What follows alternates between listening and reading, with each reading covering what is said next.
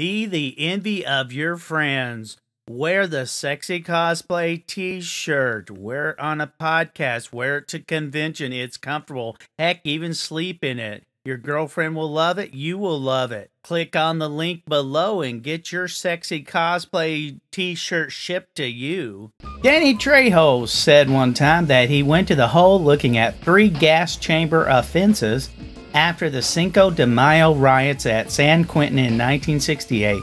They said I threw a rock and hit the lieutenant in the head, but you know what? I did hit him in the head with a rock, but I wasn't throwing it at him. I was throwing it at a group of guys and he happened to be hit. So we all had gas chamber offenses and we were taken to the hole. And I remember saying, God, if you're there, everything you will turn out the way it's supposed to. If you're not, I'm effed. Danny Trejo, who is known by his credited stage name as Danny Trejo, is an American actor and a restaurant owner who has appeared in numerous and various Hollywood films. He has also appeared in several music videos for the American band Slayer. Danny Trejo was born on May 16th of 1944 on Temple Street in the Echo Park neighborhood of Los Angeles, California, to Mexican American parents. He is the son of Alice Riviera and, of course, Dioniso Rodriguez. Uh, though the two were unaware they were related until the filming of Desperado. When he was 13, he moved to diverse neighborhood of Los Angeles and recalls never really experiencing racism while growing up. Years later, he purchased his childhood home and usually lived in it. Prior to his film career, Trejo worked as a labor foreman in construction and throughout the 1960s, Throughout the 1960s, Trejo was in and out of jail and prison in California. Trejo has suggested that his physical appearance contributed to his constantly getting into trouble. There are conflicting accounts of his prison chronology. By one account, his final term in custody ended in 1972. By another account, he did time in a juvenile offenders camp and six California prisons between 1959 and 1969. He recalled that his last prison term was five years. While serving in San Quentin, he became a champion boxer in the prison's lightweight and welterweight divisions. And during this time, Trejo became a member of a 12 step program, which he credits with his success in overcoming a drug addiction. In 2011, he recalled that he had been sober for 42 years. And of course, while Trejo was working as a youth drug counselor, a teenage patient asked for his assistance dealing with cocaine problems on the set of Runaway Train. While there, Danny Trejo was offered a job as an extra in the film Prison Scenes. Edward Bunker, himself a former convict and at the time as a well respected crime author who was writing the screenplay for the film, recognized Trejo with whom he had done time at San Quentin. Remembering Trejo's boxing skills, Bunker offered him $320 a day to train Eric Roberts, one of the movie's stars, for a boxing scene.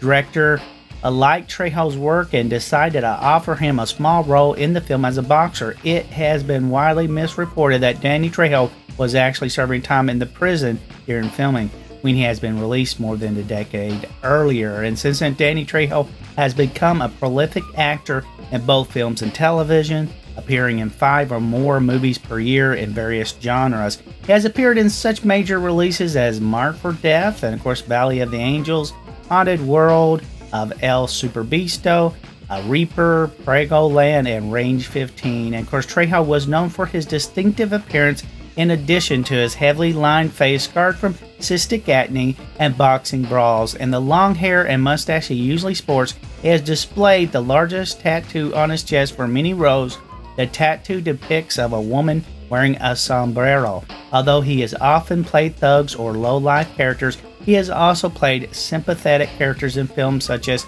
the Spy Kids trilogy, Bubble Boy, and of course US network TV show Monk, where art imitated life his portrayal of a convict roommate of Tony Shalhoub's undercover detective. Trejo also appeared on notable TV shows on season 2, episode 8 of Desperate Housewives, whereas another good guy character he was sent by Carlos to help Gabrielle deal with the grief over losing her unborn baby. He, he voiced the character of Enrique on The King of the Hill. He also made guest appearances as a DEA cartel drug informant in the noted series Breaking Bad. Trejo shared his journey from convict to movie star with the KTTV in Los Angeles in a segment filmed in his own home. Regarding his continued growth as a professional actor, Trejo has remarked, I'm so blessed, I'm still scared that somebody's going to wake me up and say, hey, you're still in prison, let's go to chow. Many of Danny Trejo's characters in Robert Rodriguez movies have been named after knives or sharp instruments such as Machete, uh, Razor Charlie, uh, and in several other films. In Predators, he also played Machete in trailer for Rodriguez Films collaboration with Quentin Tarantino Grindhouse. In 2010, he started a full theatrical release of Machete based on the character Machete, and began in 2013 for the sequel film Machete Kills.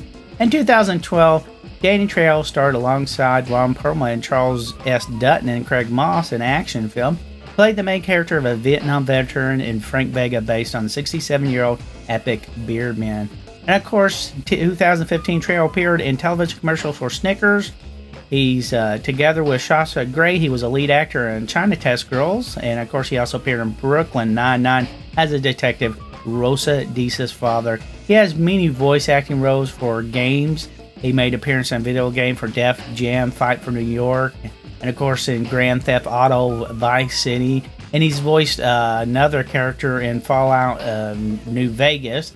Trejo appeared in PlayStation Move game The Fight Lights Out as an instructor for the player's character. He's appeared as himself in second map pack installation for Call of Duty. His voice and appearance is in 2018 Guns of Boom and you can be seen in the intro of Greg Hastings' Tournament Paintball Maxed. In 2019, he participated in promotions for Magic the Gathering Arena along Sean Plott. He starred in many music videos, and of course, we know him particularly for the Slayer music videos. And of course, he was a contributor to uh, Prison Ramen, which is a recipe and story from behind bars. In the comic series DMZ, he's a convicted felon named Denny who resembles Trejo's appearance. In the 30th volume of Hiroya Oku's Gantz manga series, Kei Kurono fights a humanoid alien giant who has Danny Trejo's appearance and likeness. The bout is on chapter 326 of the Gantz manga series. And of course, Trejo has opened a series of successful Los Angeles restaurants. And of course, in January 2016, these included a taco restaurant, his own brand of beer, coffee, various merchandise, and of course, uh, followed by Trejo's Cantina and Trejo's Coffee and Donuts. Trejo owns a home in San Fernando Valley. He married Debbie Shreve, whom he filed for divorce in 2009. He has three children. Trejo witnessed a car colliding in 2019 at an intersection with an SUV and helped extract a five year old trap and a child safety seat inside the overturned SUV. Trejo was quoted as saying about the incident Everything good that has happened to me has happened as a direct result of helping someone else. Everything. And of course, Trejo will go down in history as some of the great B movie stars for heavies like Sid Haig and many others. And if you want to know more about Danny Trejo, you can watch him on Amazon Prime, where you have thousands of movies. And you click on the link below and get one month free. Thank you for watching, subscribing, liking, and sharing. Who's your daddy?